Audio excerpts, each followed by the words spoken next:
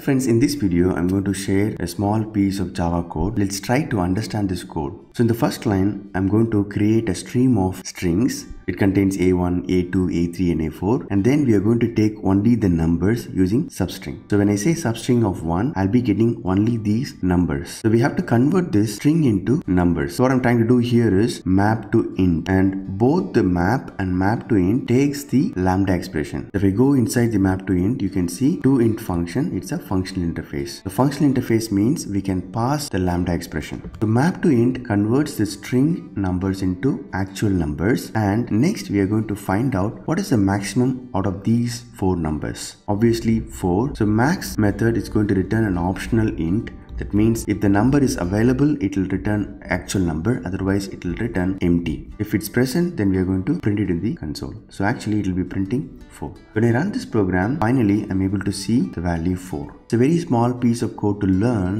java 8 stream functionalities hope this information is useful please subscribe to my channel all the best for your career thank you